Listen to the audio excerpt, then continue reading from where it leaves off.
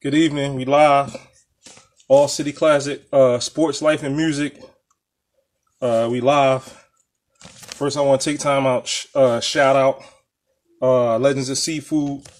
Uh, I want to shout out Soul Pack. You know, check them out. I'm also want to shout out Hoop, uh, 22 Dreams. Everybody that check this feed out, uh, make sure y'all go, go to Hoops 22 Dreams and, uh, link into the bio and check out the merch. Got some nice Hoop Dream merch. I see my man Shep in here. What's, going on, Shep? Uh, so again, everybody, make sure y'all check out Hoop Dreams 22. You know what I'm saying? The merch. You know what I'm saying? They got some nice Hoop Dream merch. Uh, I'm going to grab some stuff. Uh, we got to support each other. Black businesses supporting each other. So make sure y'all do that. All right. Got a special to get special guest. You know what I'm saying? We uh we on our way to San Antonio with it by way of Chicago. So I'm gonna bring my guest in. Bring my guest in right now. Uh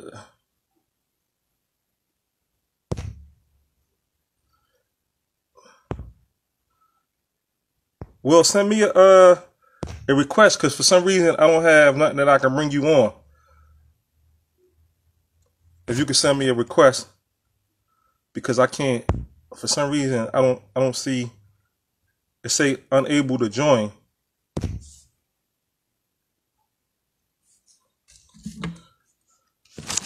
So if you could send me the uh uh go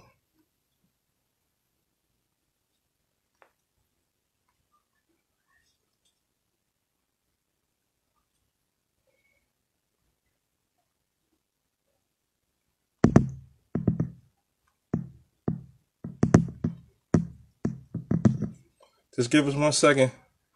I'm uh texting with Will right now. So we can try to bring you on.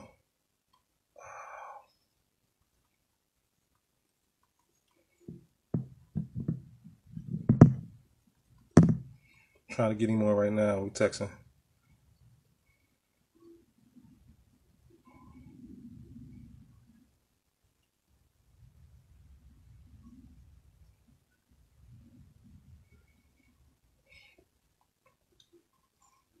Just give us one hot second. We're trying to get everything situated now.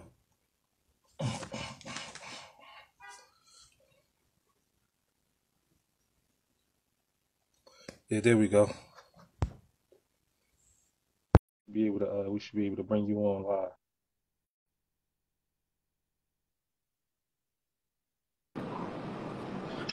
There we go. W Gates, there we go, baby. There we go. What's going on, man? How you doing?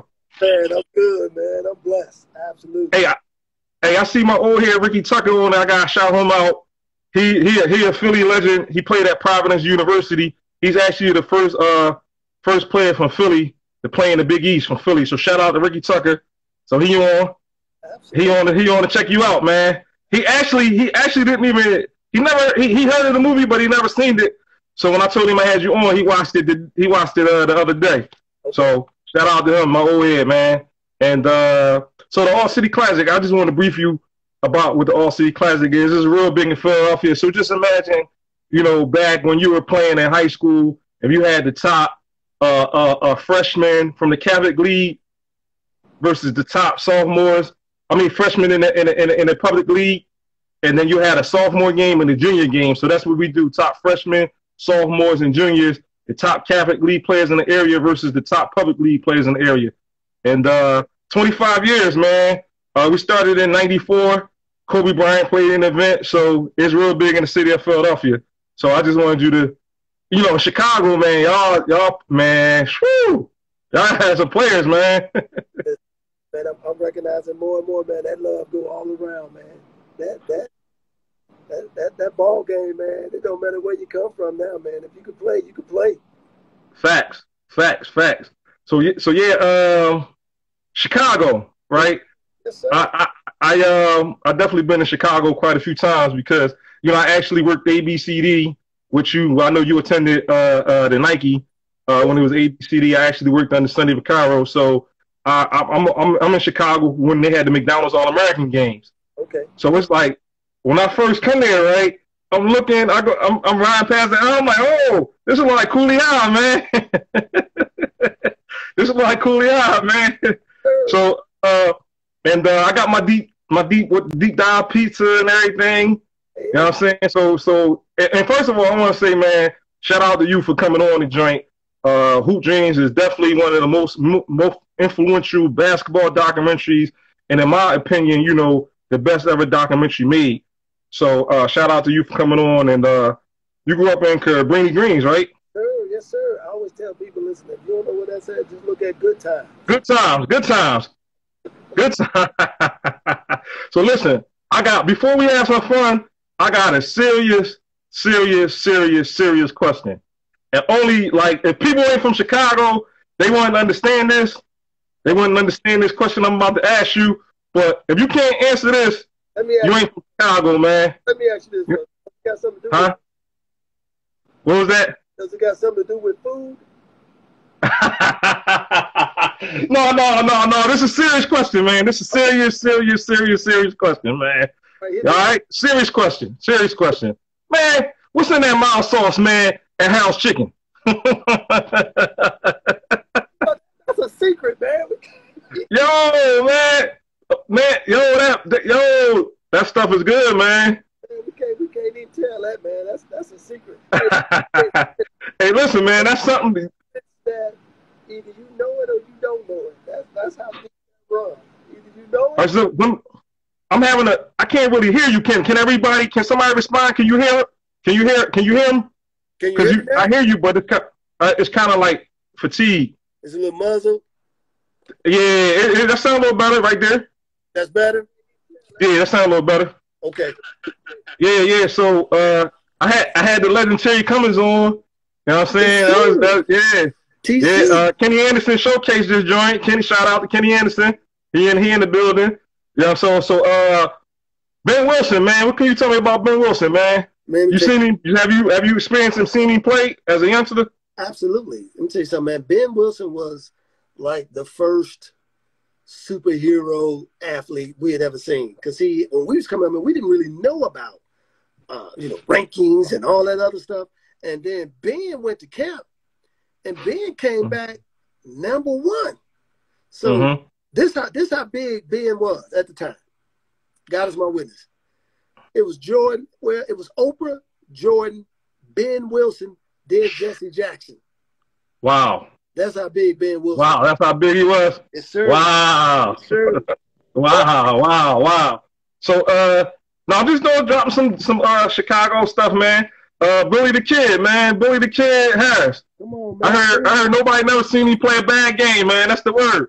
Hey man, let me tell you something, man. Billy the Kid. First of all, I've never seen Billy the Kid do the same move twice. That's, that's, just that's just true gamemanship there. I've never seen him. First of all, athletic, mm-hmm. out of this world, handles out of this world. But I'm seriously moves. I've never seen Billy do the same move twice in my life. I heard he was. I heard he was super, super, super tough, man. I heard a whole lot of stuff on me, man. And, and, and uh, when I started doing my research uh, uh, uh, about you, I started looking like, yo, this class he playing with is crazy, like crazy, and we go and we definitely gonna get into that. We definitely we definitely gonna get into that.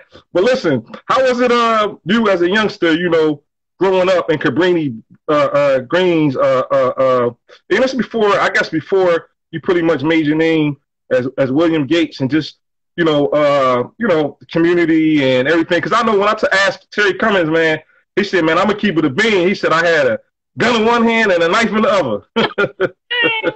well, listen, I was too young for that, man. See, when I when I came up, uh, and and I'm gonna pick this era. It's like the '80s. That, to me, the '80s was like the beginning of really what gangs began because it was like turf. So if you had on the wrong colors, you was on the wrong side of the street. That but they was fighting with baseball bats, and I'm not saying that that's any better, but right. bats and chains and fists. Man, right. to the late '80s, like about '89, going into '90, man, that's that's when we started seeing that that gunfire. I'm not saying folks weren't getting shot back in the early '80s, but it wasn't prevalent like it had become.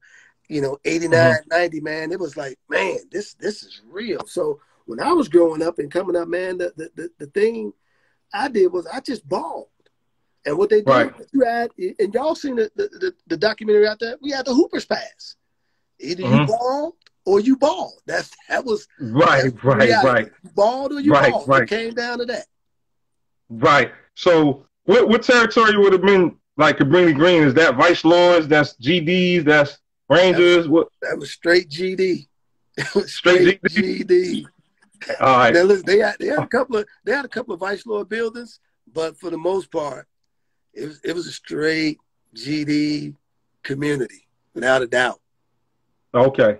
Okay. So just thinking about like you, you making you your own. Real deep, huh? Yeah, yeah, yeah. Listen, say this this this is about, you know, Will Gates, man, the Will Gates coming up. This ain't about like hoop dreams per se, although we gotta adjust that because that's part of your, your history, but like I felt like in the film, like they didn't show enough of you in terms of like it seemed like, and I and I had this down as a as a, as a question, but it seemed like they never showed you being happy.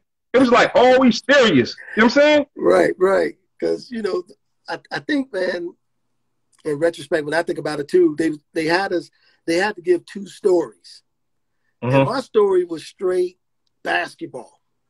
You know, mm-hmm. like you know, I even tell people, man, all of a sudden my daughter shows up in the movie, but nobody know, you know, like where she come from. There she is. Right. But it was always it was straight basketball, and I think mm-hmm. on one on one end that was being pushed. But of course, man, life life changed. When life changed, man, right. things happen. Right, right. But I right. think that was just the the scenario that was going on because, you know, uh, the stuff that Arthur was going through, man, that was happening in, in my home you know, it, it wasn't no different. I mean, outside the fact, you know, you know, you know, my dad wasn't on drugs, but I didn't yeah. see my I didn't see my dad, you know, growing up. Right. So, uh, you know, my mom working, you know, two jobs, man, trying to make stuff happen, and you know, well, not two jobs. She's working, you know, double shifts. So, man, by the time I go to school in the morning, she'd be gone, and when I got home, when she got home, I'd be asleep. So, you know, it was, it was, it was like that. Right, right, right, right. So just I'm gonna back it up, right? Uh, just growing up, just like you starting to hoop and everything. Is anybody like you looked up to, patting your game after? Like, who was your like early mentors and early guys that you looked up to, patting your game after? I'm gonna be honest with you, man. See, again, I'm that old school, and uh, Kenny, Kenny, understand this, man. This is when you when you when you made a jump shot, you thought you was Bird. When you threw a nice uh-huh. pass, you thought you was Magic. You was Helen the Rock. I thought I was Isiah. If I did a great uh-huh. basketball move, I thought I was Dr. J. I mean, I was, you know, we I was like this, this combination of athletes. And of course, man, the most important guy I saw growing up playing was my older mm-hmm. brother Curtis. I mean, Facts. Kurt, Kurt Facts. was a monster, man. That, Facts. Facts. Kurt was a beast. Facts. I want to say uh, shout out to Kurt. Rest in peace, Kurt. Uh, yeah, man. You know, uh, just heard stories about him. And, you know, and I'm fortunate, and I'm gonna get into it. Uh, I know I got some people up in Chicago, so I know a little. So I made a couple phone calls and stuff like that. Got you know, so that's why I'm digging deep, man. I hear you. made a couple phone you. calls, whatever. You know what I'm saying? But you know, growing up, like who was like your toughest competitors in terms of like before you hit high school? Like who was the people around your way? You know what I'm saying? Man, that was, that, that was so many, there's so many cats, man. There's one guy, man, from the neighborhood named Derek Brewer. Man, he was just game was just cold, man. I mean, he had the whole package, man. He could jump, he could shoot, he could handle that. That was like the first guy that I had ever seen saying, "Man, I want to be like this dude here, man. Mm-hmm. This this dude can play." So he, and he was this, what's this cat name again? His name was Derek Brewer. All man, right, Derek Brewer. Yep. Game, game was, and then man, there's so many guys. Fields. I mean, I just remember man going to the local court. We called it Chicago Avenue. We used to call it the Avenue. And they used to have a tournament very similar to like Rucker. Had all the mm-hmm. names. Even even Terry Cummings, you know, they used to come down and play in these tournaments. Mm-hmm. Man, Isiah used to come playing these tournaments. Mark Aguirre and man, the names that these guys had playing out on the court. You know, the Mojo Man, Dr. Helicopter. I mean, Nate the Snake Bun. Like that was the first time I said, you know what? I just want to play ball so I can get me a name like that.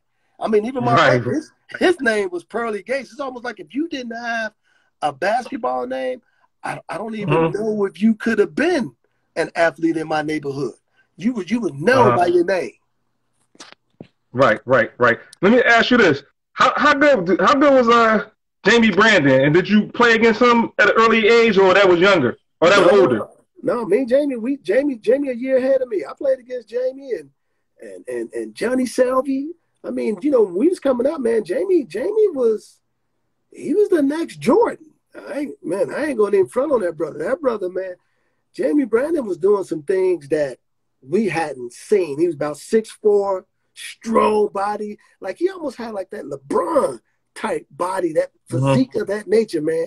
Jamie was the real deal, man. I just, I mean, I don't know what happened in college, but that dude, man, when that dude came out of high school, he was legitimately one of them guys. If they was doing it back then, he could have skipped college and went straight to the pros. Mm-hmm. Mm-hmm. So let me ask you this: like, when was it like you said to yourself, like, "Yo, man, I'm I'm all right. I really get, I really get played. I really can play this game." Because I know at some point in times it happened for everybody. I, I think I, I, think that happened for me when I first went to St. Joe's, because when I went mm-hmm. out there, I, I, I, have to admit this, man. When I worked, when I first went out to St. Joe's, first of all, I ain't never seen height like that before, man. Had to, we had mm-hmm. score, we had Daryl Cunningham. Daryl was six seven, Sco was six eight. Uh, we had a guy named mm-hmm. Frankie Tim. He was six five. I had never seen a front court like that. But then as we was playing, man, I was able to hold my own because my mindset said, man, cats in my neighborhood can get these guys, and I can get some guys in my uh-huh. neighborhood. So I knew then that I was gonna be all right. I knew then. So uh so yeah, your freshman year. So so mm-hmm. so like the, the, what was the main like what was did you have growing up uh, a specific basketball regimen or you just played all day? Because I know when I had Mahmoud Abdul Rauf on, he just talked about like how his Tourette syndrome just forced him just to like play all day, and uh, he would leave right. like the course too. He was like totally exhausted.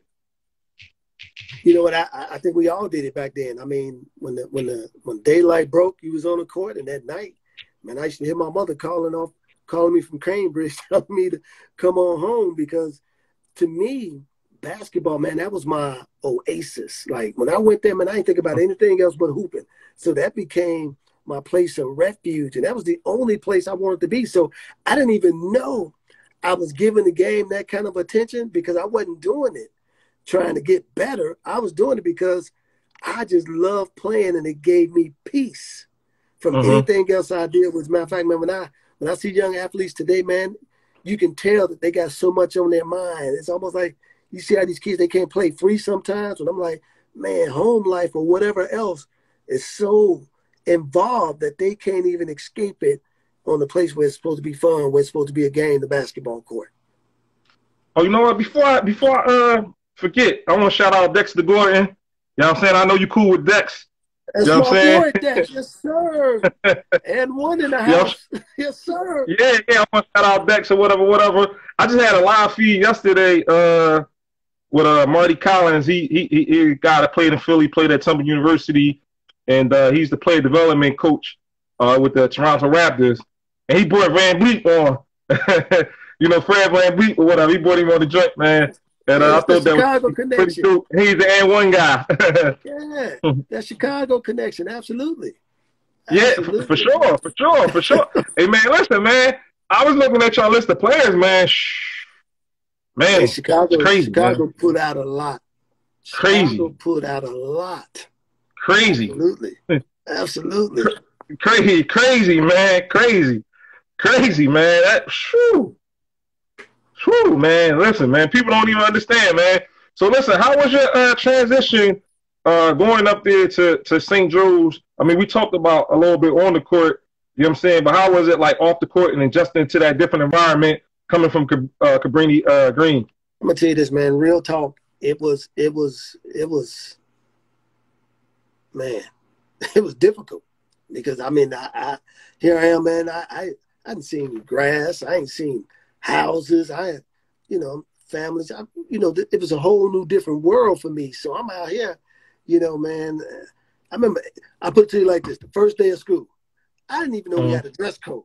I show up in, you know, my Air One gear because that's by the way, that's what we wore back then. We wore the Air One, baby. We wore to the okay, to the okay. I had on the Air One cap, shoes, sweats, the whole nine yards. And man, I go in there first day, man. This guy's my witness. First day, I get detention because I ain't ready for school. Mm-hmm. That was that was my introduction, and I literally said to myself, "This ain't the school for me." I said, mm-hmm. I, "They're like, how did you not know?" I'm like, "How am I supposed to know?" I, mm-hmm. I, that wasn't my norm growing up. You you wore what you had to wear. You didn't wear a uniform to school.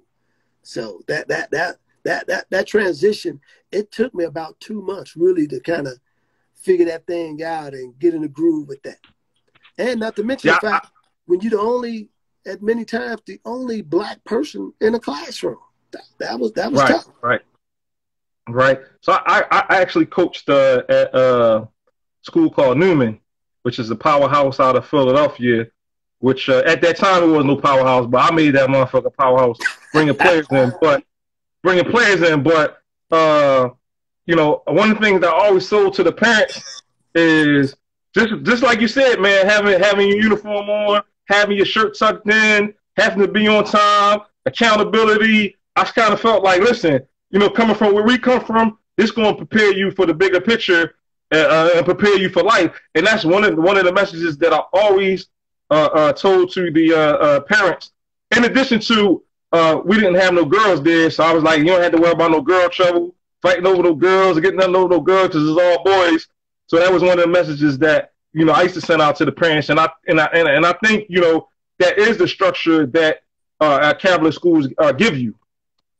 Yeah, and you were yeah, know more so uh, uh, attending it.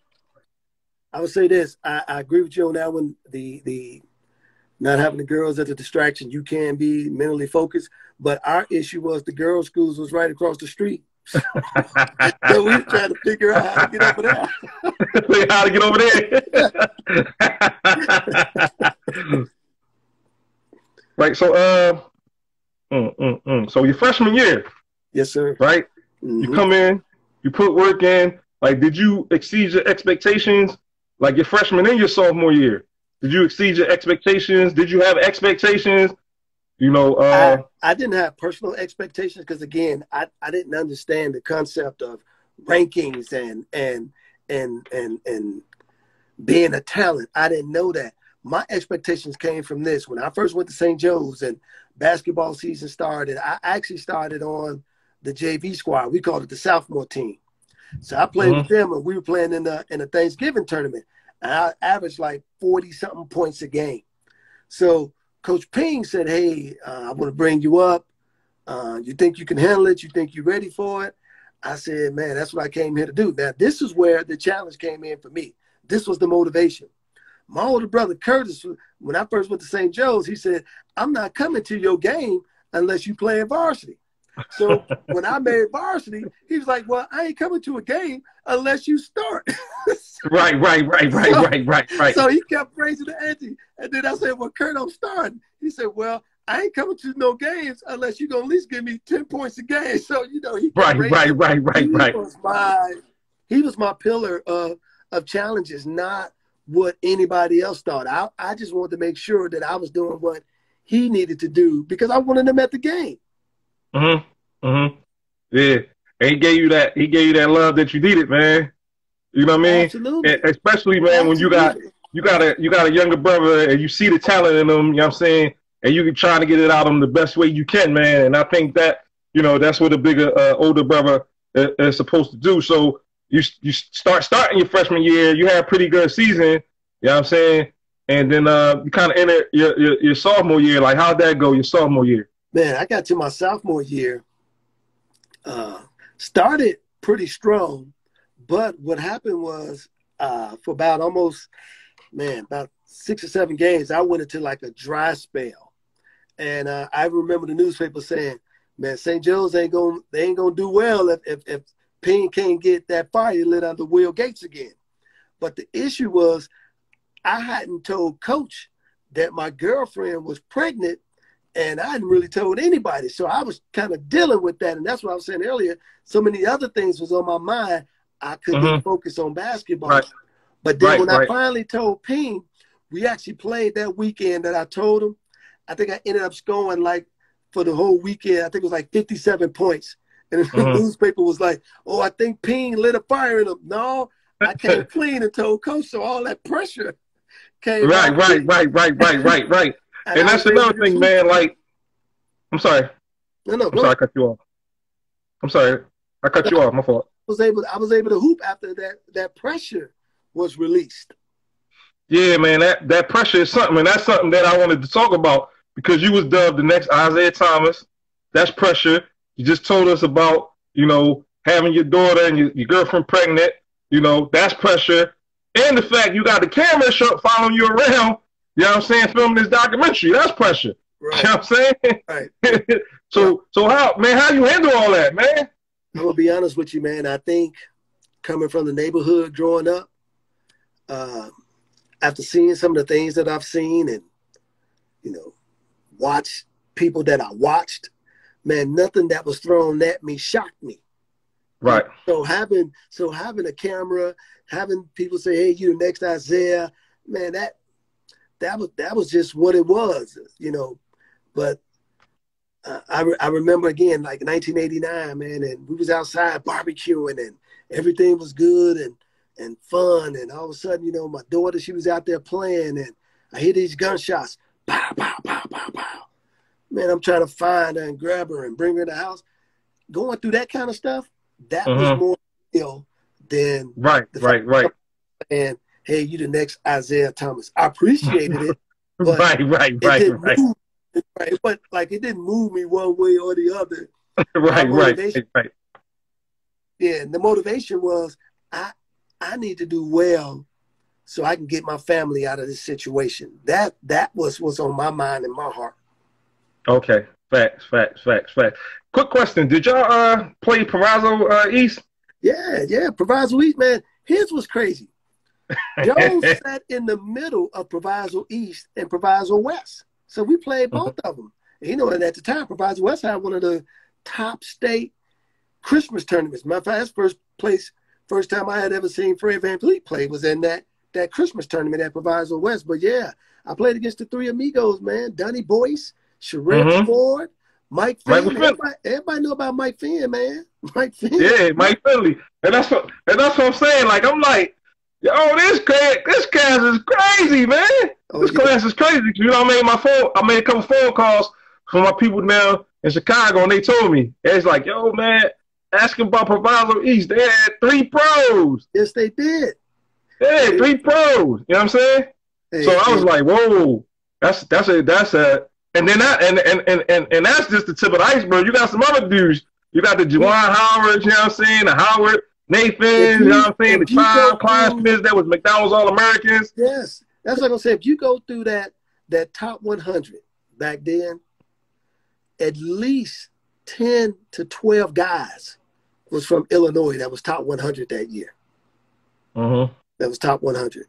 And them, and them, and man, yeah, like you say, three amigos all made the pros. Uh, Juwan oh. Howard, well, we know we know Nuke situation, man. I mean, Nuke, Nuke doing it over there in Michigan now. I mean, yeah, Chicago. Yeah, Chicago no, that was. And I gotta send crazy, some man. love. I gotta send some love to my guy because you know he he the crossover king, man. And you asked me earlier, what's the toughest guy I ever played against? Tim Hardaway. Uh-huh. Tim Hardaway. Tim Hardaway. Man, yes, the crossover king, man. That, okay. What what year was Tim? This was this was about nineteen. Man, it's about that year when Jordan came back to play with the Wizards. Mm-hmm. Okay. All right. Yeah. And yeah. And Timmy was a little older, man. I remember guarding Timmy. Timmy was acting like I wasn't even guarding him. I was like, man, what's going on? So who was your who was your high school personal uh rivalry? probably the East, Proviso East. They mm-hmm. they they were the guys. Matter of fact, what was interesting about Proviso East, a lot of guys either went to East or they went to Joe's, and if they came to Joe's and they had to leave, they went back to East. So when we play against East, when we played against each other, it was like it was the it was the same squad. You know, everybody that that went to Joe's lived in Maywood or lived close to enough to Maywood to go to Proviso East. Mm-hmm. So let's let's shoot to the uh, summer real quick, like uh, summer summer the summer camps and all that. Like mm-hmm. you went to Nike. Like how was that experience? Uh, how was that experience at the Nike camp that year? I'm gonna be honest with you, man. First of all, in retrospect, phenomenal. But when you're there, I like man again because people got to remember this is before Instagram. This is before Facebook. This is before Twitter. So a lot of those guys, I really didn't know who they were. So if if they wasn't local, like I knew who Chris Webber was. I knew who Big Dog Glenn Robinson was, which by the way was a beast himself. I knew who Big Dog was.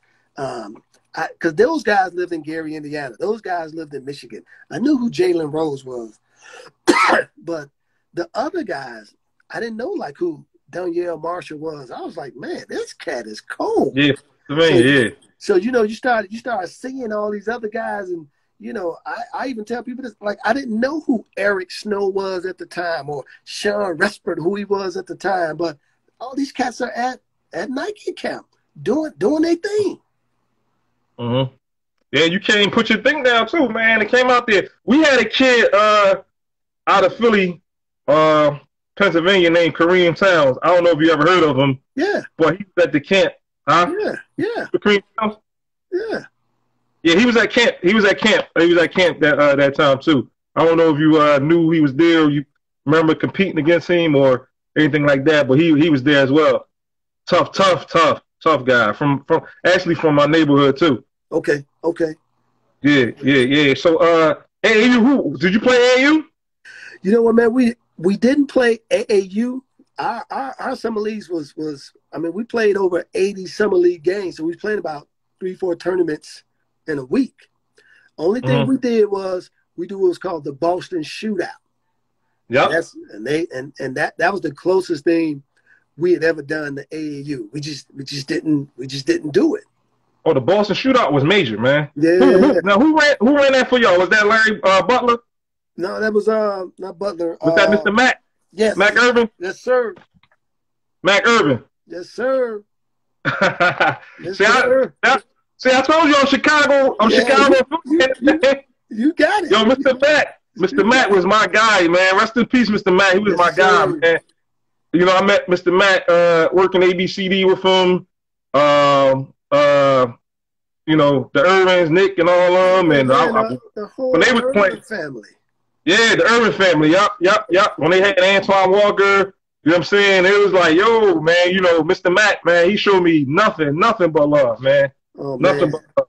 You know what I'm saying? Mr. Mac. So I'm sorry, I told you, man, Chicago, man. New York, my second home, but Chicago might be my third, man.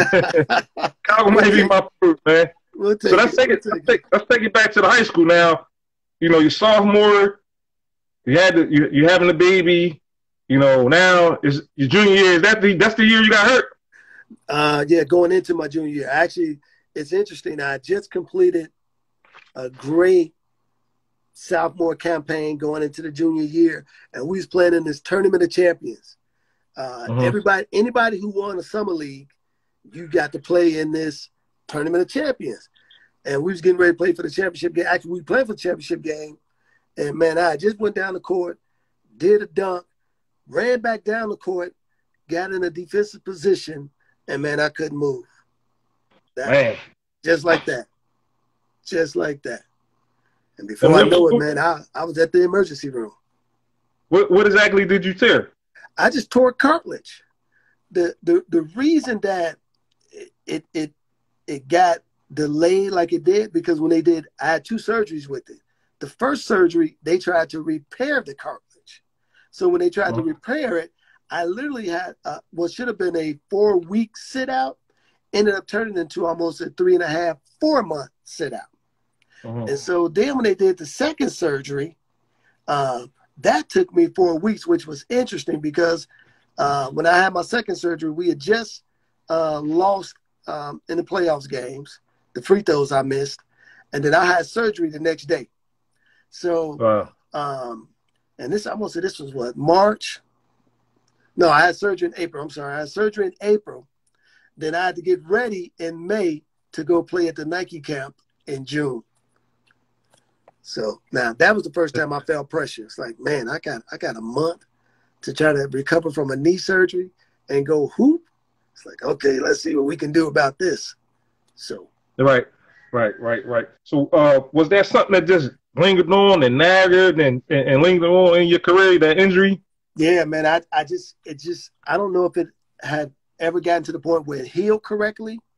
And so it just it just stayed, you know, after games my knees would be swollen and, and it just it just you know, I, I could never get that full, you know, 90 degree right. bend or that 120 degree bend, you know. So I was trying right. to figure out how to stay as competitive as I could um, so that I can go and play college basketball. That that became my my concern at that point.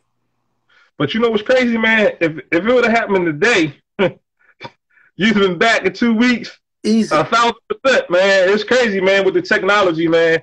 It's crazy with the technology, man. Uh if it happened today, man, you know, you'd have been back. So what uh what was like give me some of your most memorable moments in high school.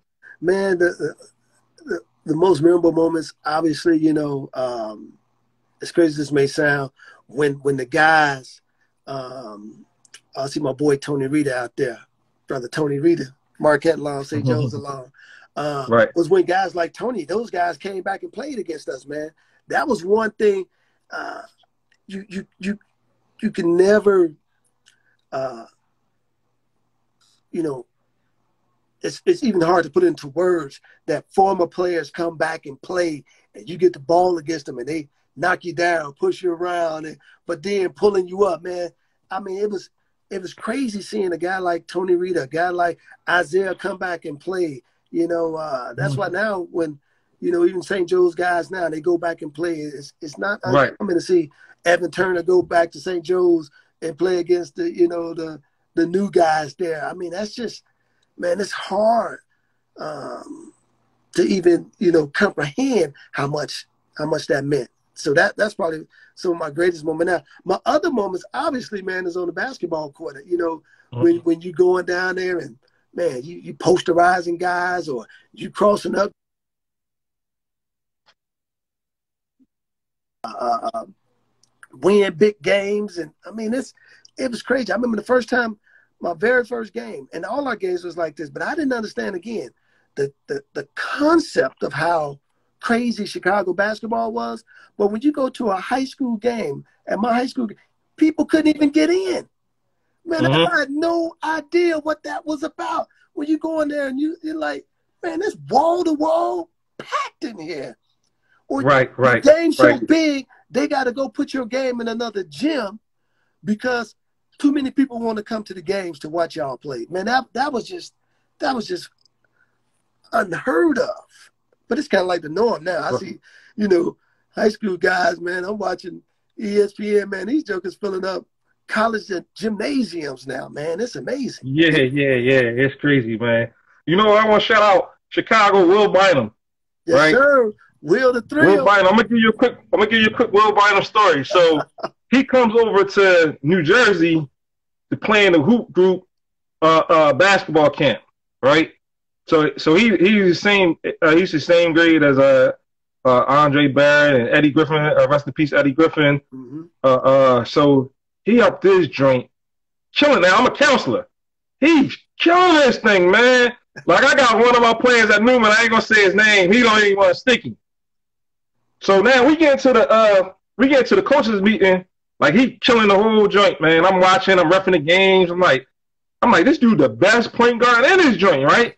So now, so now we get into the coaches joint. These motherfuckers screw him out of the top twenty game, and I'm sitting up here like, yo, this dude is the best. They's like, oh man, we don't want to turn this into a Andre Barrett. You know what I'm saying? Versus him. You know what I'm saying? I'm like, oh man, this is this is. No, I'm talking about Will Bynum. Will Bynum. So Bynum. He didn't give him. He didn't. They didn't.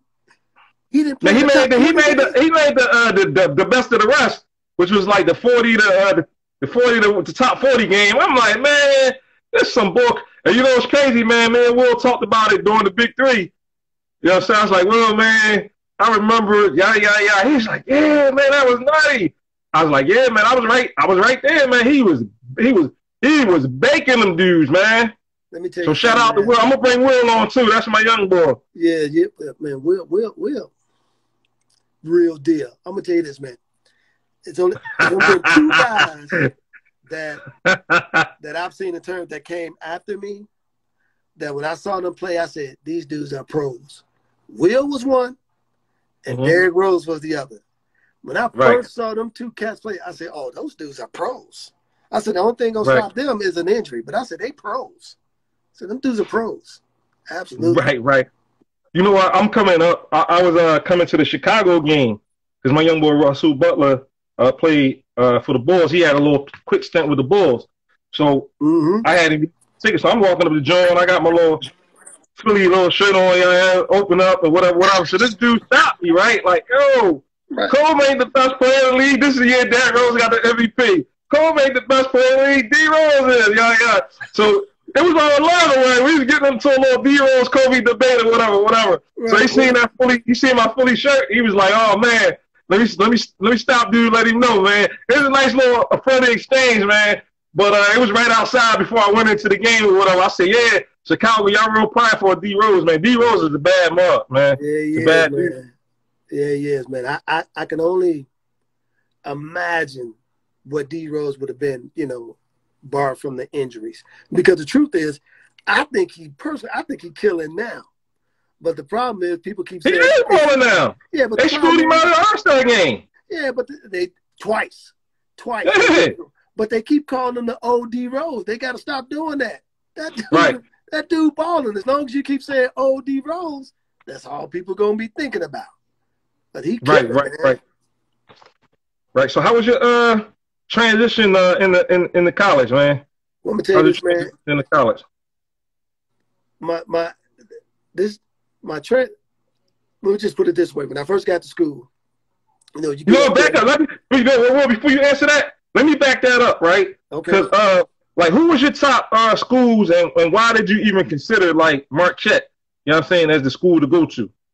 Let me my ask top, you that. My top schools was Michigan State, hmm Kansas, uh, Marquette, Indiana, and I just threw this one in there, but coach never let me go there. I was gonna go to Hawaii just because it was in Hawaii. Literally, I was gonna go to Hawaii. So this how it went down. There was three guards that was coming out when I was playing. Calvin Rayford was one, even though I thought the best point guard that was coming out of my class was Travis Best, without a doubt. TB was, was was the I thought he was the best point guard in that class. Um, Calvin Rayford and Eric Snow. So Right.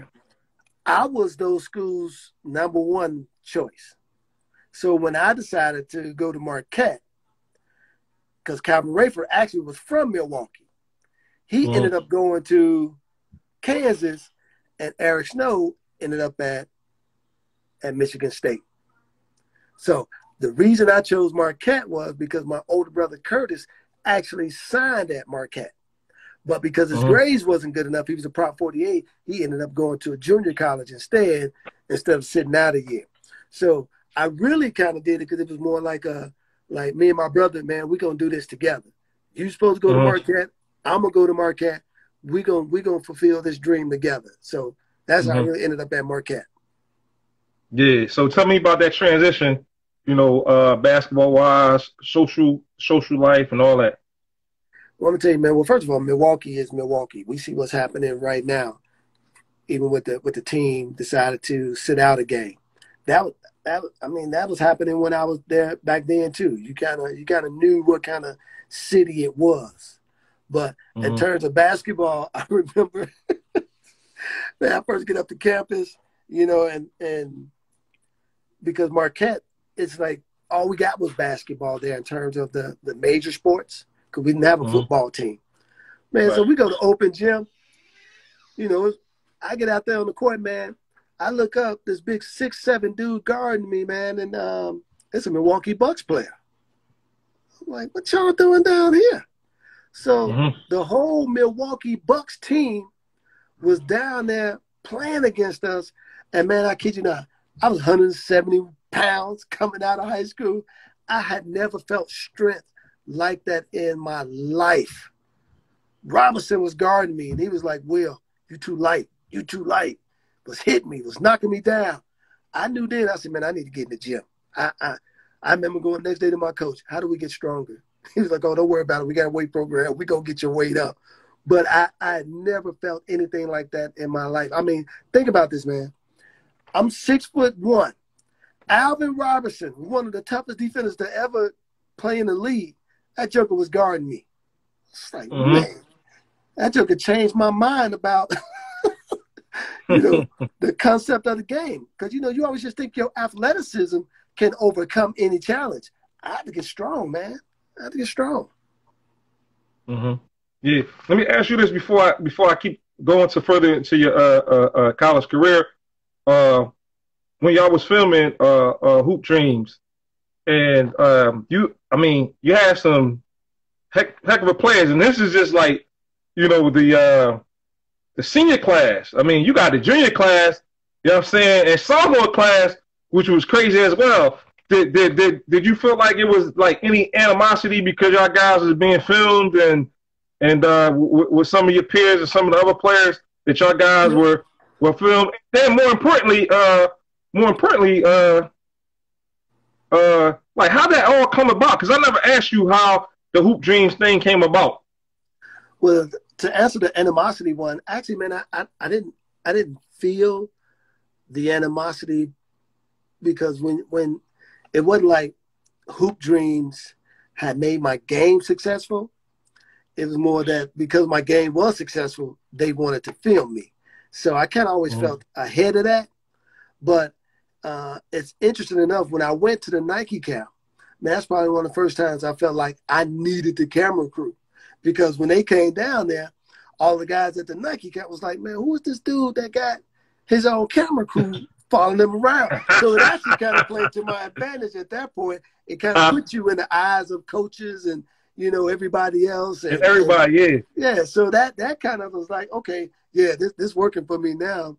But how it all went down was really, man, kind of like how the movie started when Arthur was playing against Isiah. See, I was already going to St. Joe's and I was at camp that day.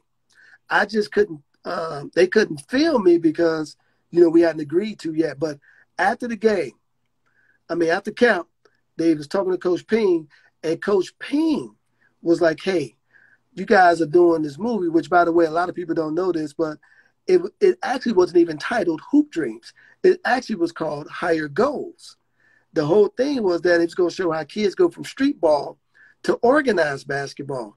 And Coach Ping said, "Well, listen, I got this kid coming from Cabrini.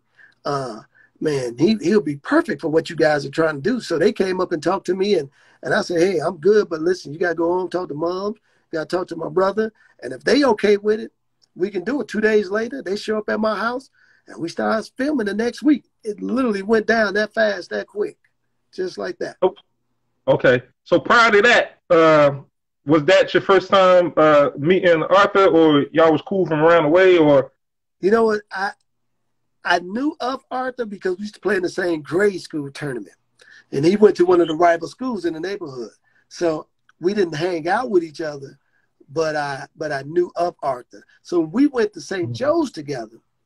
Arthur and I, that became our road dog because at that point now, um, he was the only guy that I could connect with. He's the only guy that, right. man, like like when he would miss school, I was like, man, where you at? Are you gonna leave me out here like this by myself? You know, I'm like, come on, man, don't do me like right, that. Right, right. So, cause, right. Cause he, you know, we understood each other. We we we knew what the struggle was, how to get out there. We in the hallway playing this game called Get Like Me, flipping quarters, you know, to to get lunch money. You know, we we we did all that together. Mm-hmm. Yeah. So uh just forwarding it back to uh, you know, Marquette in college and you played with uh Kevin O'Neill, right? He's the one that he coached you and everything. So how did that I mean, how was that? Because I mean, when you look at your stats and everything, it didn't seem that you played a lot or you got a lot of minutes or, or anything like that. Like, uh, like, can you kind of like us walk us through like what was going on with that whole situation at Marquette? You know what's interesting is that, and and nothing against Kevin O'Neill. He's a he's a heck of a recruiter. But what I didn't know at the time was that he was a a a big man coach. Right. You know, even like now, I, I tell guys that I that I work out with, hey, when you when you're looking at schools and you're being recruited, if you're a guard, you might not want to go to a school where the offense is heavily dominated by the big guys. Or if you're a big mm-hmm. guy, you might not want to go to a school where the offense is heavily dominated by the small guys. So uh, our school was dominated by big guys, and, and I didn't really know that at the time. I thought I could come in and just kind of do my thing. And literally, man, for like the first five, six games, I was probably getting five, six, seven minutes a game. And I'm thinking, hey, this is this is crazy. You know, this is like this what's is going on? I'm, I'm, right? Hey, all right. I'm, I, I, mean, literally, I started saying to myself, man, come on, I'm one of the top 100 players in the nation.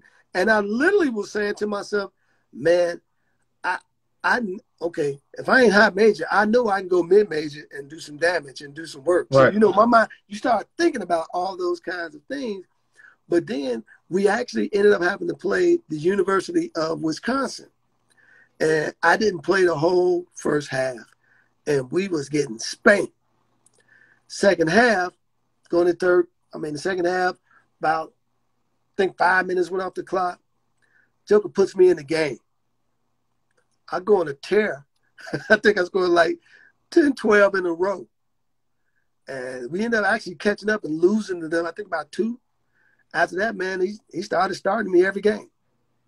So mm-hmm. I was mm-hmm. starting, but I wasn't scoring. He wasn't, he wasn't, right. he wasn't letting me shoot the ball. He's like, Will, you got to play D for me. So we literally ran, ran a three guard offense per se, but I was the biggest of the three guards. So I'm guarding the small forward. So I spend most of my time guarding a six five, six six, six seven guy, night in and night out. I remember we playing Memphis, man, and I'm guarding Penny Hardaway. I'm like, come on, gotta be a better way.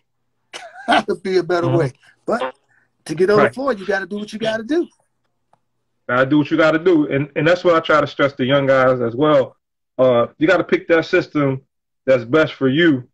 Uh, a lot of people they they they go on, you know, people name the name recognition and this and that, and you got to pick. You know, just like you said, if it's a guard oriented coach, like if you're playing for Coach Chaney, he let his guards go. That's a good place for a guard. You know what I'm saying? Yep. So, you know, you got to be mindful of that in basketball. The kids know that, you know, when you get there, the coach going to do it his way. So it's going to be my way or the highway, or you're not going to survive. You know what I'm saying? Actually, that was my first realization, man. When I got there, I remember Kevin O'Neill.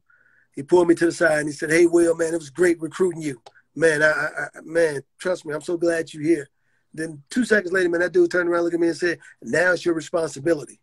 I said, "My responsibility? What are you talking about?" See, I didn't even have a concept at the time that scholarships were were only one year at a time. I'm just thinking, right, hey, right. Responsibility, man. I'm here. Did, did, didn't I earn it to get here? Now you're trying to tell me I gotta keep this? Isn't, isn't that empty? Right, right, right. so he said, "Well, the honey, the honeymoon is over, baby." it was over. But, but I yeah. oh man, one of the things I've always loved and appreciated about Marquette University was that man. No matter whatever Will Gates was going through, them jokers had my back, man. Uh, mm-hmm. That's my school for life uh, uh, man, I'm absolutely 100% excited and, and proud to say that I went to that university because, uh, man, they took care of me, man. They they took care of me. Uh, they they mm-hmm. supported me. They supported my family. And when I'm talking about this, I ain't talking about financials and stuff like that. I'm talking about in terms of, man, when I got married, uh, when my daughter, my wife came up there, man, they made sure we had Mary housing. I mean, man, it was it was top notch, man. They everything that they could do for me legally, Marquette made sure that it happened, man. I mean, I ain't got nothing but love for Marquette University. All right, so since you since since you said something about legally, uh, athletes should definitely get some bread, and they getting the bread now. They're getting bread now through the stipend and all that, and it's allowing them to get stipend. But what I don't like about that is it's at a disparity because say if you like at like a LaSalle University versus like a Maryland, now Maryland, now LaSalle might be that ticket whereas though, man, you go there, you never know what's gonna happen. You can make it to that upper level and get that big money. But you're looking at Maryland because they're able to give you bigger stipends and and you talking about kids that don't have much. So it's kind of like they doing some things, but it's kind of like messed up at the same time, man. It it is. I agree with you, man. And truthfully, there's some there's some um, conferences that don't give their kids money at all. They don't even get the stipend. They might get money like when school is out, they give them money, you know, for the, the, the spring breaks or the, the, the, the winter breaks. But man, they some conferences don't even give that little, you know, four, five hundred, six hundred dollars a month. Uh, but I agree with you, man. They need to pay these guys. And I definitely I sent a letter to the NCAA saying, listen, one of the things I think that a lot of particularly black athletes struggle with, I mean, I don't know if white athletes struggle with this or not, but we put so much time and energy and effort and love into the mm-hmm. game that mm-hmm. when we're done, man, we don't do the normal things that people did while they were in college. Like we went, like I didn't do internships, you know. I, I even after my freshman year, man, we we were going out of the country. You don't have time to make plans to build a life successfully after basketball. So what I proposed to the NCAA and just said, hey, listen, why don't you give these guys every year they're in school $25,000 a year? So when they leave with interest, you know they at least have a hundred grand when they leave the school with that diploma. And then on top of that, pay for their grad school. Now, if they don't make the league or they're not playing overseas, they can go to grad school and do those normal college things that they weren't able to do while they were a student athlete. Cause I just, I just, right. I just, I just. That's, a, that's man, that's good. That's some good stuff, man. That's some good stuff because we put, we make a lot of money. We generate a lot of money for a lot of people. Yes. Shoe companies, you know, uh, you know, the universities, you know, and, and, and, it's crazy. You know, I was watching uh, Ray Allen one time. he was talking about when he knew he had to go pro was when he seen everybody selling his T-shirts, making a making a making a living off of it, and he couldn't even, you know, what I'm saying, get it for free because that's an NCAA violation. right, right. So, so, right. Come on, man. I remember when we were playing. This, this how crazy NCAA was. I think they done changed a little bit now, but when they gave you two pair of shoes, you had to turn in a pair to get a new pair. Wow. that's how it was. Wow. wow, that's crazy, man. So let me, you know what? Let me let me get into uh, hoop hoop dreams a little bit. And I already talked about like uh, one of the things I wanted to talk about is like how how they portrayed you. Like you seemed like you were never happy. Right. You know what I'm saying? But we, we so we we talked about we talked about that. You know what I'm saying? Because uh, when you look at you know Arthur, you know him and his guys, they having party, they having fun, and, and then your and then your situation like you say, was a little bit more serious with you about to have a baby, and and uh, and you were the better better player anyway. So you more focused on what it is you needed to do in terms of getting your family, you know, out of that struggle, and which is a serious which is a serious thing. But uh, was it anything that you could recall that footage that might have been shot that you might have that they probably took that wasn't in there that you might have wanted in there, or anything that you might have uh, uh, wanted them to not not have in there? You know what? I, I don't I don't think so because I think there were things that um, they probably wanted to put in there that my family mm-hmm. wasn't against. Because one of the things I tell people is that Hoop Dreams is about two and a half, two hours and forty five minutes, but they shot mm-hmm. over five hundred hours of film. Mm-hmm. That's a lot of footage out there. So there was things, man, like you know, with my mom, and you know, we just, you know, that we didn't want that exposed. Um, uh, things my brother that he didn't want exposed. So uh-huh. I think when it when it when it did come to our family, we probably was a little bit more reserved than the Agees. Uh-huh. Um, we we really wasn't trying to sell a a documentary. We was living life, and and I think uh, and to some degree, we didn't know what they were gonna do with the footage. I mean, after uh-huh. they came back and said, "Hey, you know, the the the higher goals piece," They said, listen, we think we got something a little bit more because that was only supposed to be two weeks. So they, then they came back and said, hey, we want to film a little bit more. and that little bit more turned into four years. Mhm. You don't, you don't know what they're going to do. So when we sat down and we was going through the editing process and all that, there were things that you know that you just said no, you won't put that in there. Okay, right, yeah, yeah. Because you know what was uh what I ain't like. Let me just give you a few things that I I didn't like about. I didn't like, man. I understand, you know, Arthur's dad had his issues with the drugs, but I ain't. I, I definitely ain't like that scene where they got him copping drugs, man. I thought, it, but it's a reality TV. I think this was like the first reality TV. It's a real documentary, but I thought that could have been told without actually showing that. You know what I'm saying? Mhm. Uh, and uh, But- I was But I'm gonna tell Okay. you, I'm gonna tell you what happened though. Um, they could have had that taken out. Bo wanted to show it. okay. Bo was like, "Hey, man, no, this need to be in here because it might save somebody else's family." So Okay. you know, and you know, man, rest in peace to Bo, AG as Rest in peace, Bo Agee's. Yeah, yeah, yeah. Now, uh, man, this this what I wanted to ask because uh, now me, with me coaching at uh Neumann Neumann Goretti in Philly was Neumann first, and is now merged with the girls. But you know, I so I know how that Catholic uh, system is, is set up, and I actually was talking to one of my guys. I think he on the feed too, Coach Pat. Uh, one of my one of my white buddies, Pat. You better grab uh one of those uh hoodies the white and black hoodie that I told you I'm grabbing. So make sure you grab it because when I posted everything, he's like, "Oh man, my favorite joint. I gotta get on. If this is your favorite joint, Pat, you gotta grab a hoodie. Anybody else that's listening, you know, we got the hoodies. Link it to his bio. He got some hoodies for sale. So uh, and uh, and uh, uh, with me coaching, you know, at the at the you know the Catholic League, and and uh, I just wanted to ask, like, what was your relationship with Coach Pingatore? Because they didn't portray him in a positive light. I felt. You know what I'm saying? Right, right. Well, So I'm give us a little bit like more this, insight. man. People, people got to recognize this again. Um, back then, the game was a little bit different. It was coached different.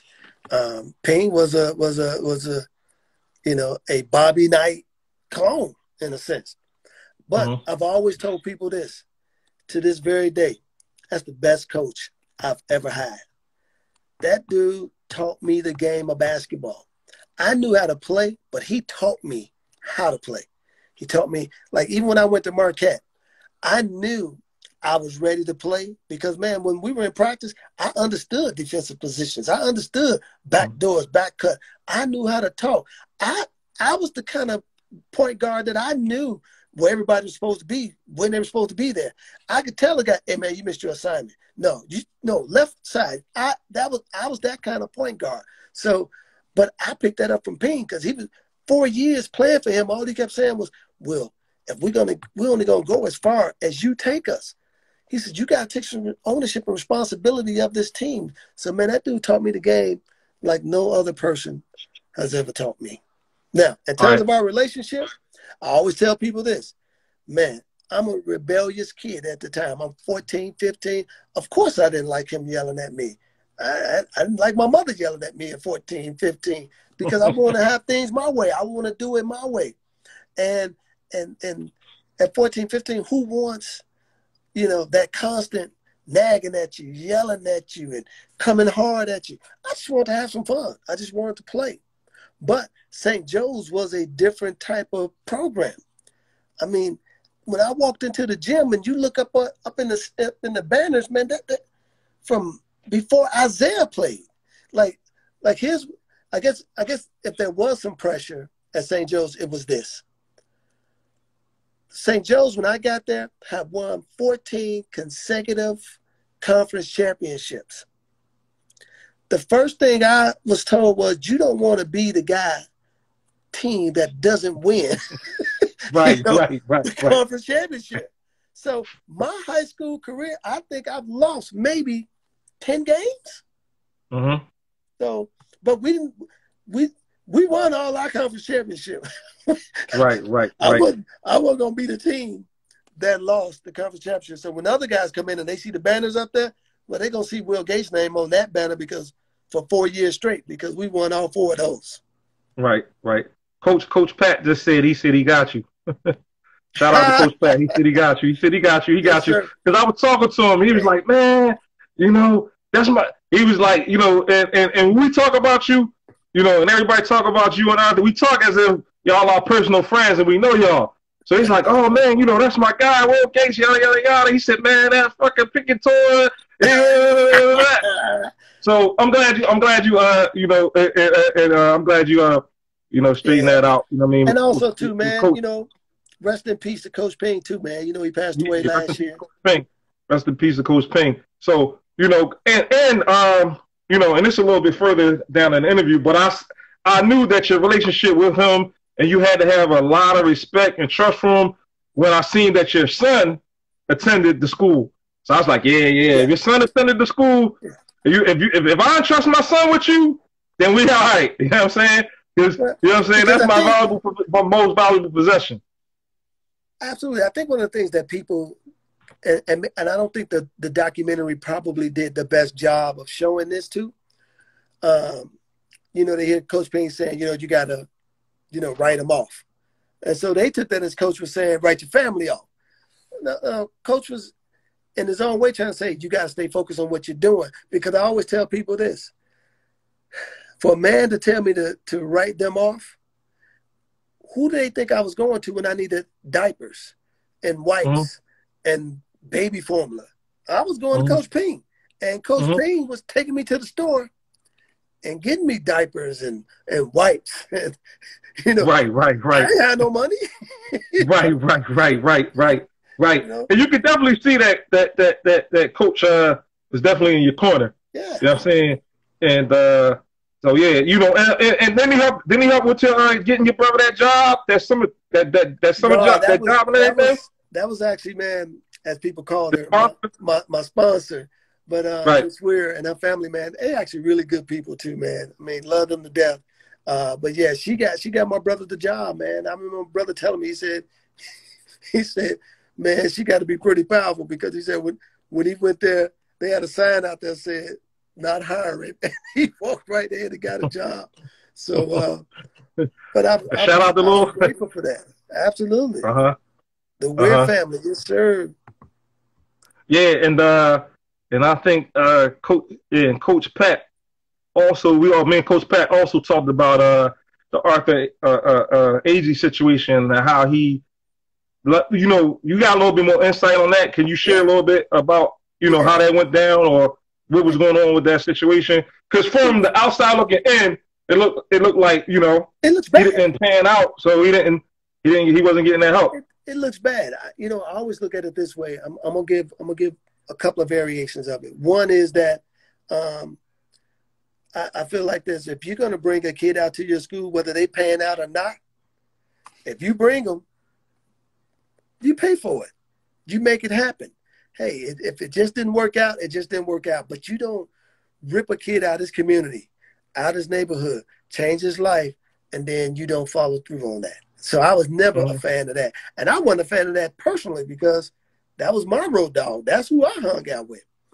The right. other aspect of it is, okay, you you you you you get rid of them, but then why are you holding on to the transcripts? Just give it to them.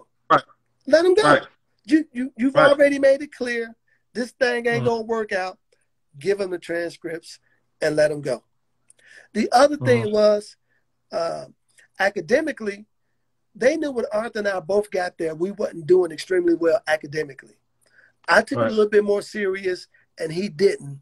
And I think they also used that as um, a way to say, well, you know, academically he isn't doing well too, so maybe this is just not the school for him academically.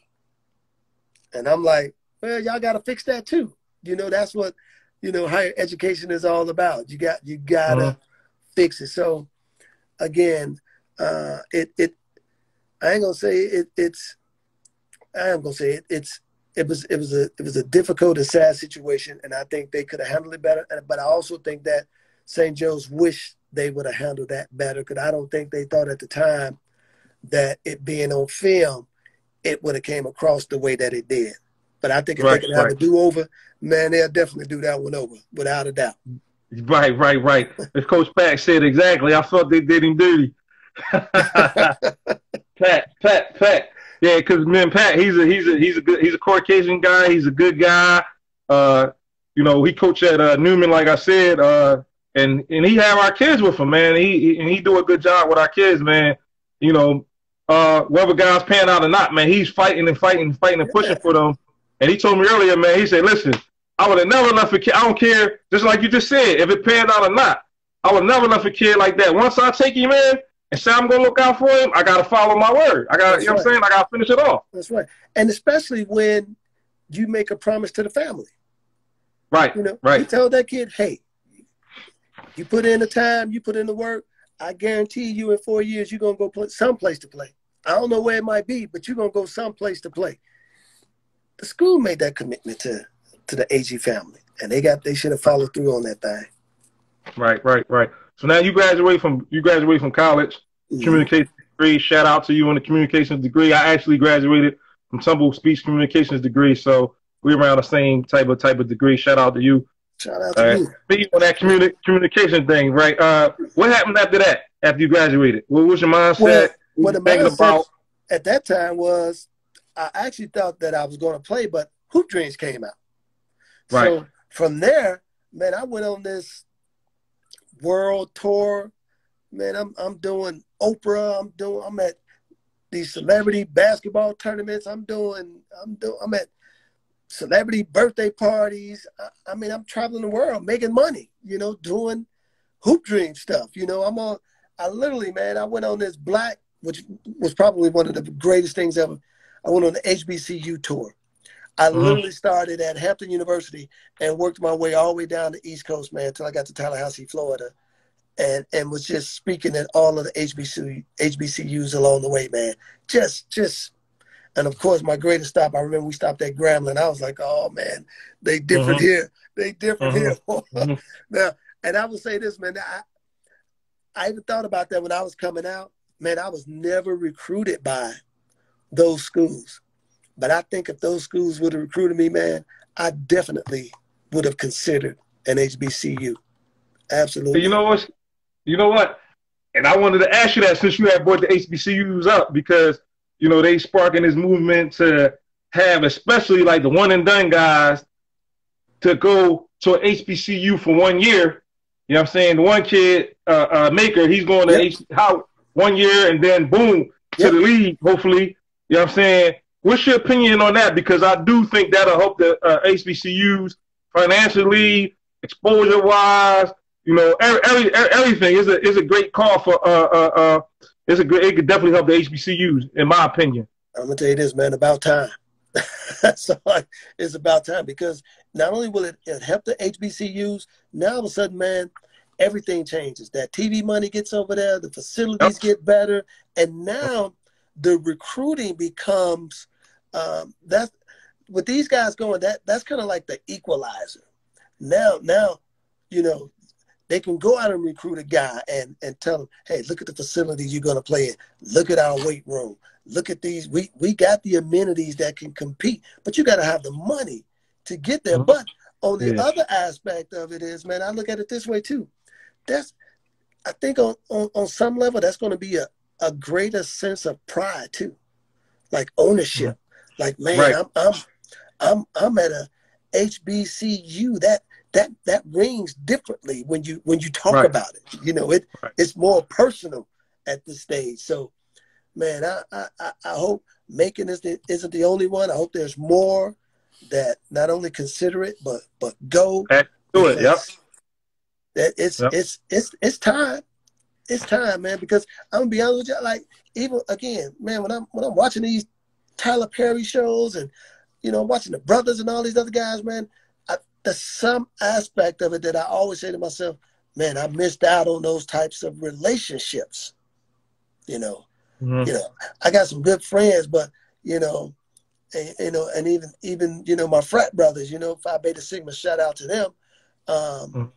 But we had to go to a whole nother school to kind of accomplish those kinds of things. You know, Marquette didn't offer that, so I think mm-hmm. it's just something about being in the midst of that environment, man, that that sense of culture and pride that, you know, I think I missed out on being at Marquette. All right. Now you know what? Uh, 2001, right? You had the opportunity to work out extensively. with, not the greatest player, not the greatest player to ever play, the second greatest player to ever play, because and, and, and, and, and it ain't it ain't LeBron ain't number one. Wilt, Wilton Norman Chamberlain is, is by far the greatest player to ever play the game. You know what I'm saying? They say he's the most dominant, but he's the greatest player. But you got a chance to work out with MJ extensively. Like, how was that experience? First of all, man, it was it was top notch. But here's the funny thing: I remember the first time I get the call to come down and play. I walk in, wasn't really that many of us from outsiders at that point. I go in there, man. It's like the 1990-91 Bulls championship team. I'm looking at Bill Wennington and all these old guys, man, and they were some savvy vets just out there killing. But as as the as the training went along, and the top college guys, you know, who didn't make the NCAA tur- AA tournament or when that tournament run was over, they was coming down, and the guys who didn't make the NBA playoffs, they started showing up. And here's what was weird. I remember we were playing one day, and the 17 year old kid, about six eight, man, weighing about 260 pounds, walks in the gym, and I'm like, who is this kid? Just in there, mm-hmm. man, dunking on people. And of course, you know, there's no other than LeBron James. I'm like, right, right, right, yeah, right. That, I'm like, yeah, that guy's pretty good. He's he's gonna be all right. So right, right. It, it was just it was just amazing, um, you know, to see all the people there. And, and again, these are these are the younger guys. Of course, there was a lot of Carolina guys there. You know, the Bulls players were there. So it was man, it was just the. It, but here's my biggest takeaway, even from the basketball. I remember, I thought I had a decent car. I remember pulling up, man, looking into the lot. Man, there had to be at least a billion dollars worth of cars. Sitting in the parking lot, I'm looking like, man, this out my league, man. I ain't on that level. That's, that's, that's, a whole different level there, man. I ain't there. Right, right, right, right. Facts, facts. You, you know what? With with me having experience of being around NBA player, and I'm pulling up in my nice car that's nice to everybody I didn't grow up with. And I'm like, whoa, you know what I'm saying? So I, I, I definitely know that. I definitely know that feeling. My man, my man from Soul Pack said send you the video, the Wilt video. I, I, had to send him. I had to send him a video to make him a believer. So I'm gonna send you. I'm gonna send you some. I'm gonna send you some Wilt stuff. But check out, check out. Hey, Will, when you get a chance, check out Soul Pack. You know what I'm saying? This is my guy. It's, it's, you know, when I started the video, I talked about him uh, powering this uh, feed right here. Check out his uh, joint. Hey, and, uh, what, what, can I get that at? So uh, it says go so go Soul Pack on Instagram. They got the nice little shoes that fit your little bags and all that stuff. You get uh, custom made with your uh, ball sneaks and, and the whole nine. Okay. And actually, you know what I'm saying? I'm gonna have them send you some little work, maybe I might could do a little with your cross brand thing, you know what I'm saying, with some old shoes Absolutely. or something. You know what I'm saying? Because he's a good dude. He's a good dude, man. He helped me out a lot with my brand and my different stuff that I do. You know what I'm saying? Okay. He's a good dude. But uh yeah. So uh I see that Arthur uh Agee got an opportunity to meet Bill Clinton. Did you get that chance to meet Bill Clinton? No, I didn't meet Clinton, but I, I did meet the Obamas though. Okay. I take that. I take that. But you know, but at that time, um, we was both was, was was doing so many different things and meeting so many different people. Uh, like I say, mm-hmm. you know, I'm on the Oprah show. Uh, I'm at Jordan's birthday party. Uh, uh I mean, um, it was it was man, it was crazy. It was wild. I mean, I can honestly say, man, people talk about 15 minutes of fame. Man, we we we've had it for a long time, man. I think we got more than right, 15 right. minutes. Here we are right, celebrating. We're celebrating 25 years, and and and I'm talking to you on All City Classics right now. You know, yeah, 25 years, yeah. 25 20, years. We had 25. It'd have been 26 if Corona ain't shut me down. Shout out to Corona for shutting me down. I needed the year off. Corona gave me a year off. Hopefully it's just a year. That's you know right. what I'm saying? That's Let right. me ask you this, man. What's the pros and cons of being William Gates hoop, hoop dream star? The, the the pros is that um, is that it, it, it opened up every door that I've ever walked into post basketball and, uh-huh. and even during basketball. I mean, it, it, it definitely put me in, in, some, in some good positions, some good situations. Um, a lot of the cons are is that people can automatically assume that you're always okay. People right. always think that you know, man, you you always got it figured out, or that you don't need nothing, or or that you know you just you're on top of everything, and and I keep trying to tell people, you know, that ain't really how life works. Everybody got mm-hmm. ups and downs, ins and outs, and backs and forwards, and you know, uh, so Will, Will Gates have just as many bad days as he does good days, but the the when when you're in the limelight, it people just kind of get that assumption that everything is always all right, and and okay. and that's just a misconception. But everything positive, man, that's ever happened in my life, you know, basketball wise, man, Hoop Dreams is is is the right. star of that without a doubt. Right, right, right. Facts, facts, facts. Now, when I had Terry Cummings on, he talked about uh, getting into his ministry, you know, early. So I just wanted to let everybody know, like, you're a pastor, and I just want you to speak about that and your transition into that because I know that's important to you. So it's important to you, it's important to me, and it's important to get the information out. Absolutely, man. I, you know, um, I went into ministry, man. Literally, it it always been that calling on my life. My grandfather was a pastor. Um, okay. So that that calling had always been on my life, but it wasn't until the year about 2000 and um, I think the year about 2000, man, when I accepted the calling. And uh, mm-hmm. it's interesting because uh, what God was calling me to was back to Cabrini to teach and preach. Now at this time, man, I, I really didn't want to do it because, you know, uh, you know, I just lost my brother. I was in a funk, and the last thing I wanted to do was go and try to help people. I'm like, man, mm-hmm. I'm struggling, you know, internally. I, I have nothing good to share with anybody. And it turns to find out, man, I took all that hurt, that pain, uh, and of course went to school, you know, uh, got that, you know, that you got to go get that ministry license. I'm not a license, you got to go get that degree, you know. Mm-hmm. So I went and did all the right things that I needed to do, took the ministry back to the neighborhood, man, and and when I come to find out that I was able to um, help people that I grew up with. Uh, man, it was it was amazing uh, how many you know friends that I had that you know when when when when their parents passed away, I was able to help lay their parents to rest, or when violence was happening in the neighborhood because uh, my ministry we kind of sat right in the center of the neighborhood. Uh, I was kind of like that first call. Hey, Will, stuff going down. Can you come and man, help us deal with this. So I felt a sense of responsibility to the neighborhood. I felt a sense of, of ownership of that. And most importantly, man, the, the main goal was to because Cabrini was was changing at the time, the, the community was gentrifying. So my goal was that as people was transitioning, to help them find, you know, a church home someplace else, as well as help them find adequate housing, as the neighborhood literally was making people move to new locations. So we had man a fivefold ministry with a lot of purpose and a lot of passion, and did it for about almost ten years. And um, you know, once the community kind of shifted, you know, God released me to come down here to San Antonio, where I'm not necessarily pastoring, but I'm still preaching the word of God at a church called Higher Ground um, Community Church. So uh, excited about man still being able to deliver that word and preach it when called upon. Okay.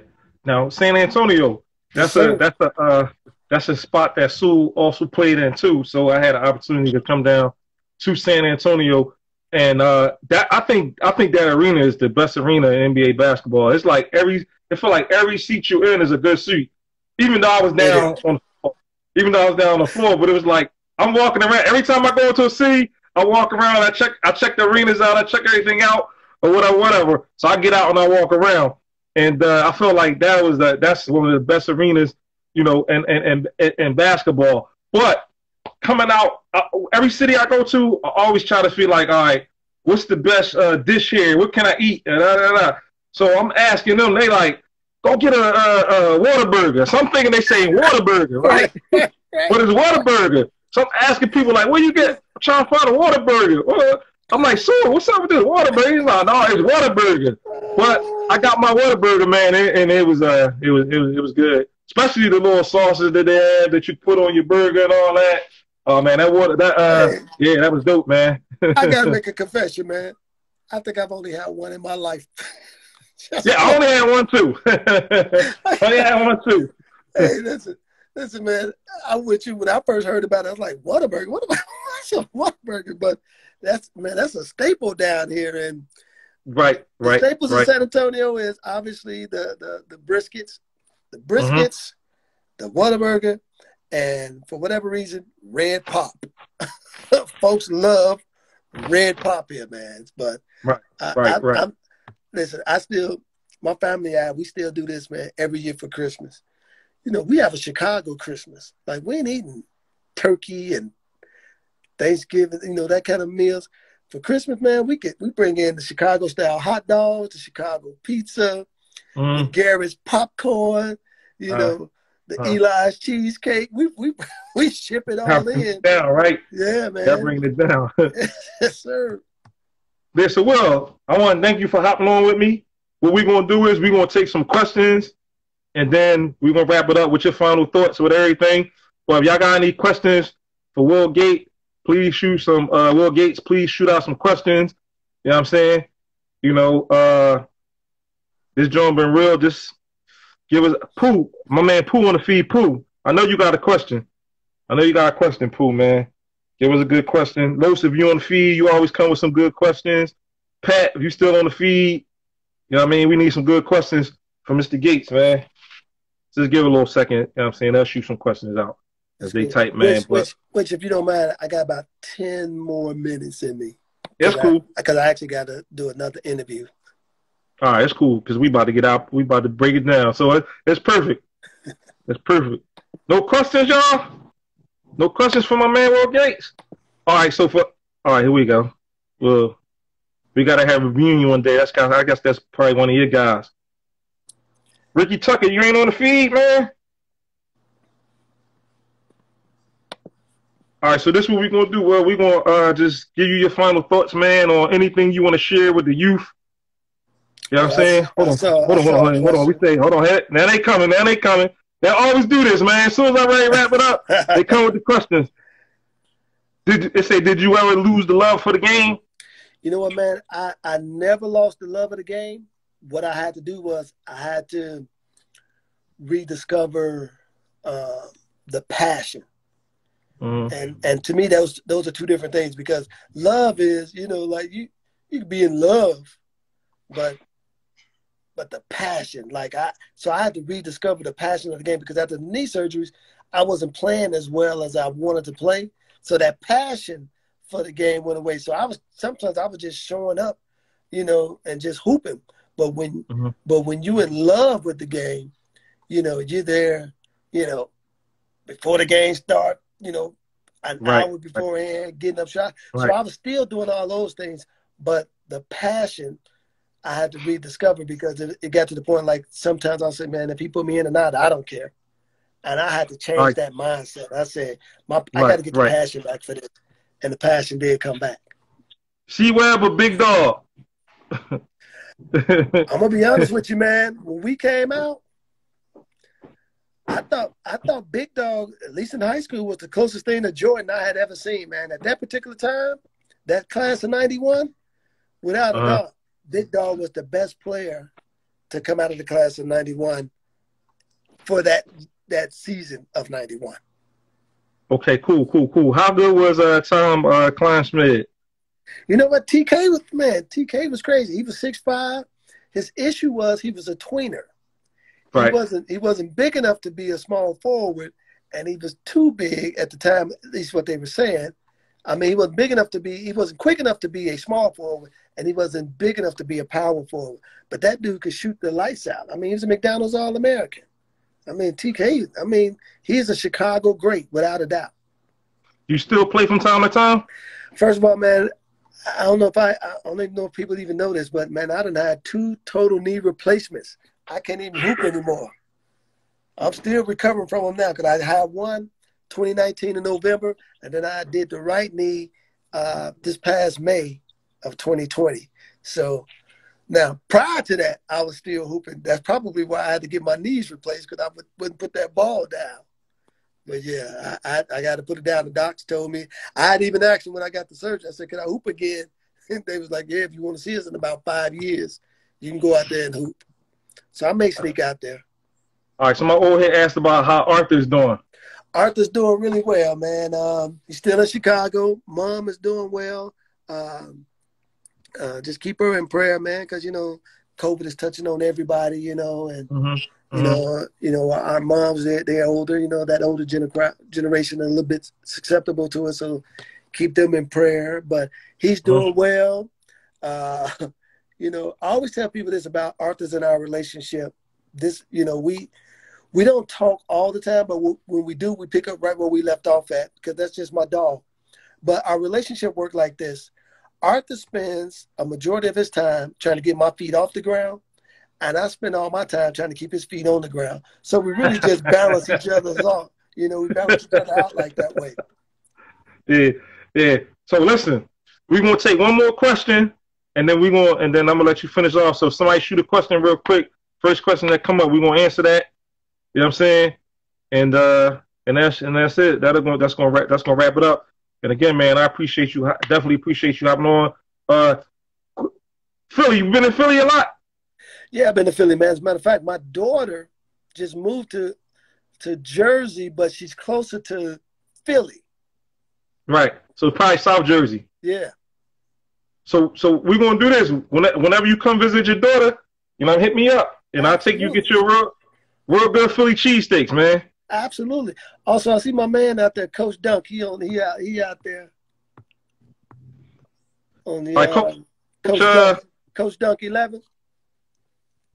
Okay, Coach Dunk Eleven. He got a question. No, He said, "My man, Hoop Dreams with the knowledge." yeah, Uh, my brother. That's my that's that's, that's my road dog there, man. Mm-hmm. Do AAU together. Coach Killer Five, who you you got a question? Put your question, and you could be the last question.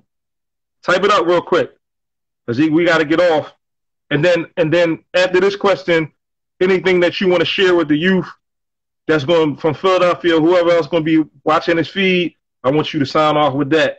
Absolutely. Give him give him one more uh, minute to uh, type his question in, and then And let me just do this cheesy plug real quick. But hey man, y'all go out there and get some of that gear, man. It's hd-22.com. hd-22.com. I'm gonna I'm gonna type it in the feed for everybody.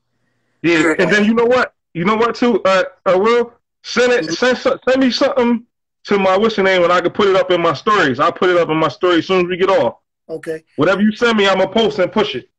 Hey, You know what I'm saying? And, and I'm I, and I, I'm grabbing I'm grabbing I'm grabbing something for me, my wife, and my uh and my uh and my daughter. You got Pat gonna grab some stuff. We're gonna try to get you some Philly uh some Philly love. So you can fully love. I appreciate that, man. As a matter of fact, man, because I'm on your show, if if uh, folks go get some stuff, man, uh, in the next 24 hours, I, I put up there a, a 10% discount. All they got to do is all caps, all city. Okay.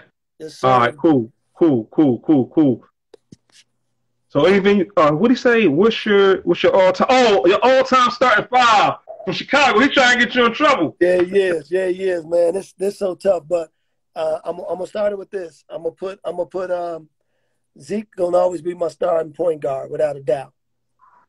I'm gonna put uh I'm gonna put Terry Cummings at the four. Uh, man,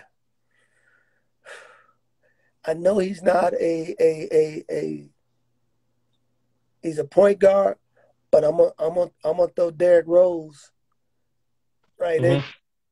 at the two. Uh, I'm gonna give D Wade the three spot because because because because D Wade to me is still probably, you know, depending on what where they put Kobe. If they put Kobe at a small forward, then D Wade become the second greatest two guard to ever play the game. If not, Mhm. if they keep Kobe at the two, then D Wade number three. Um,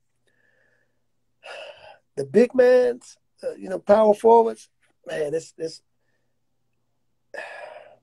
I got my man from Philly. My man said, "AD."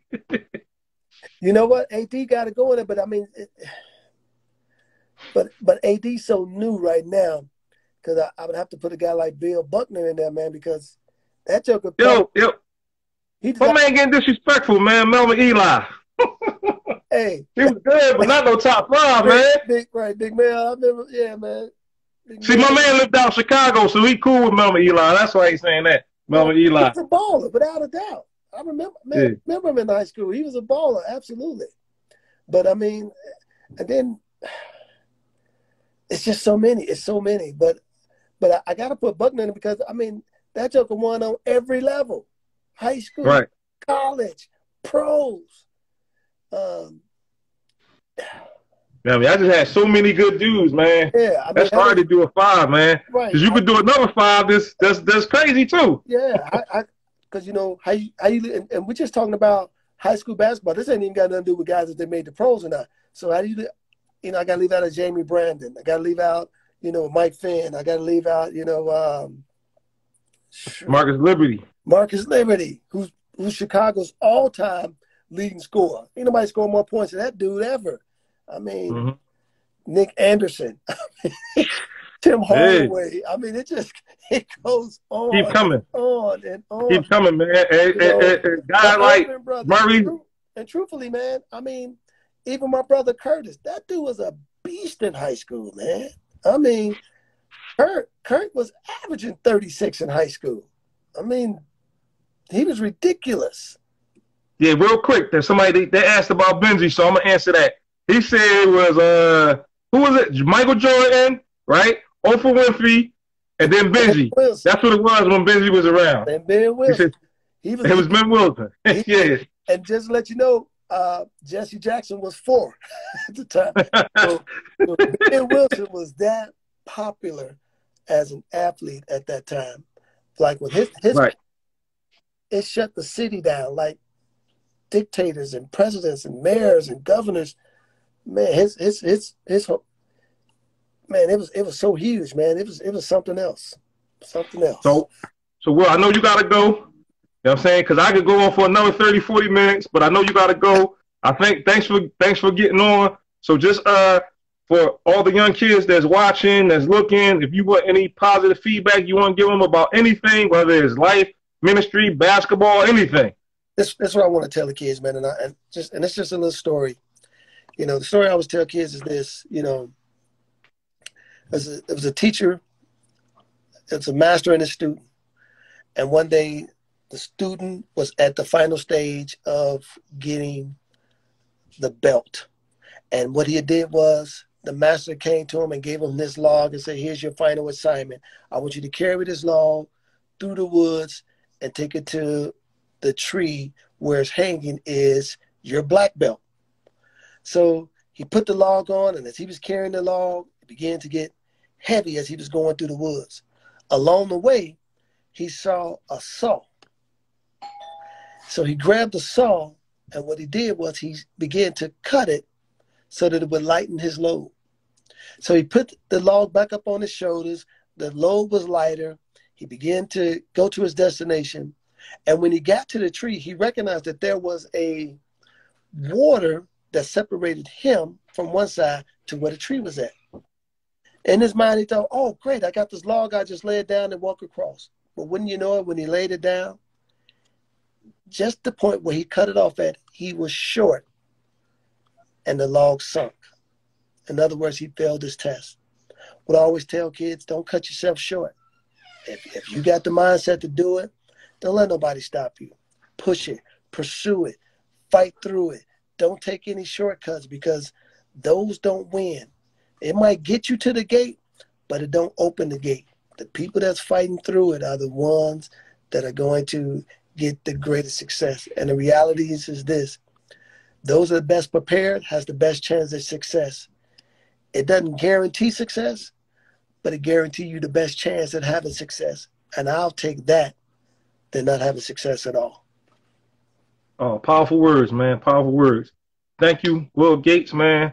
We appreciate you.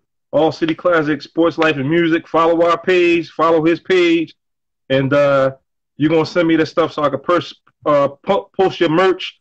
You know what I'm saying? Anything you send me, I'm gonna I'm gonna put it in my stories any, at any time. You know what I'm saying? You know, we good, we good, we good for life, my brother. I appreciate you doing this for me. And just like I said, man, we're gonna grab some stuff, man. I appreciate it, man. Listen, I'm gonna I'm gonna connect with you anyway, man, because I want to do what what you talked about earlier. Let's collab. Absolutely. Facts. Facts. Let's do that. Let's do that. I appreciate you, man. Same here, man. Y'all All right. Take it easy, Will. All right. All right. All City Classic Sports Life and Music. We signing off. Like I said, follow his page. Uh, Hoops uh, 22 Dreams. Follow our page at All City Classic. Thank you for coming on, man. This was a good, this was a good joint, man. I appreciate everybody that support us. Keep on continue to support us. You know what I'm saying? Y'all know I'll support y'all guys. If y'all need me for anything, I'm here. Peace.